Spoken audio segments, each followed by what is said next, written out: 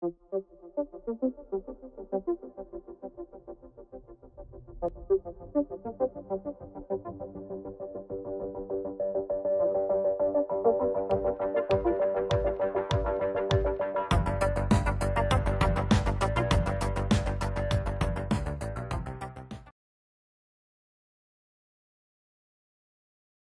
now going to make a few comments about pressures and specifically we're going to take a look at absolute,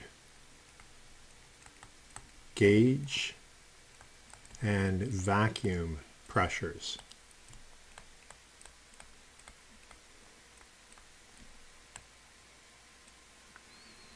Beginning with absolute,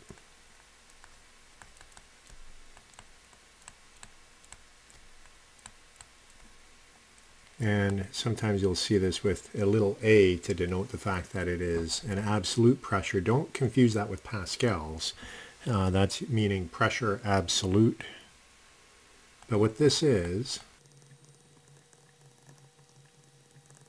so this is a pressure measurement with respect to a zero pressure reference. So a zero pressure reference would be zero pascals or, or zero pressure.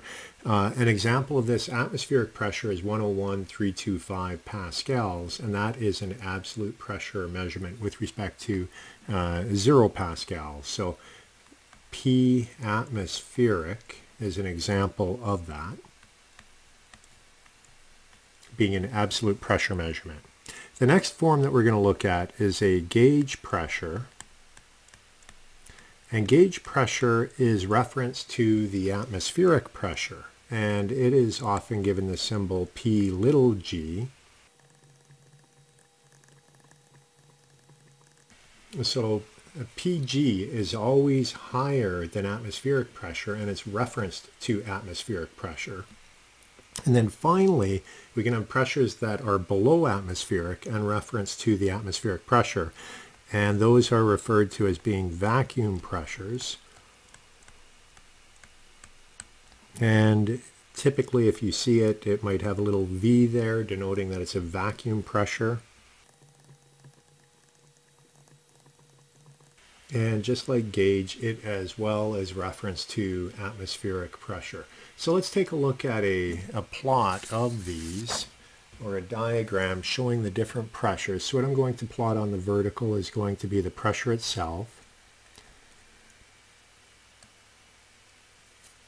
And first of all, let's assume that our atmospheric pressure is here.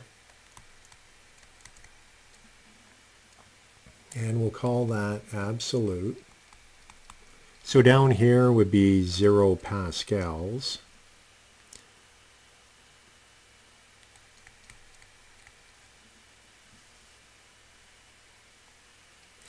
And typically uh, atmospheric is 14.7 psi or 101.325 pascals.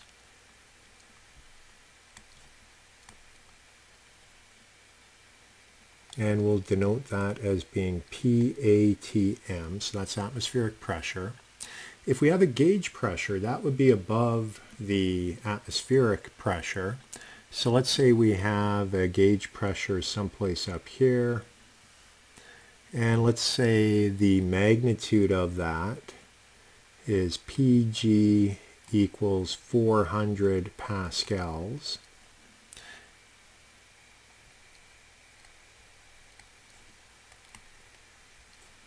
So that would be a pressure then in terms of absolute pressures I'll continue this line over. If we were to draw an absolute pressure for that, we would have 101,325 plus 400, which is 101,725 pascals. So that would be an absolute what that gauge pressure would be. And let's say we have a pressure that is lower than atmospheric. That would be our vacuum pressure. And let's say we have a vacuum pressure that is minus 51,325 pascals. And I'll call that P little v. That would be vacuum. And the pressure there would be 101,325 minus 51,325. That would take you to a pressure, absolute pressure of 50,000 pascals.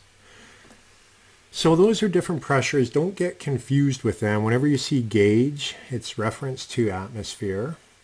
And whenever you see PV, that will be reference to atmosphere as well, but it'll be below it. And if you see uh, P atmosphere, that usually is 101.325 or it could be 14.7 PSIA. Sometimes you'll see the A there and that denotes an absolute pressure as well. So those are some things with pressure that we uh, you'll need to remember as we work through problems and you'll see that constantly gauge or absolute. Uh, vacuum we don't use as much but typically quite often we use gauge and absolute pressure.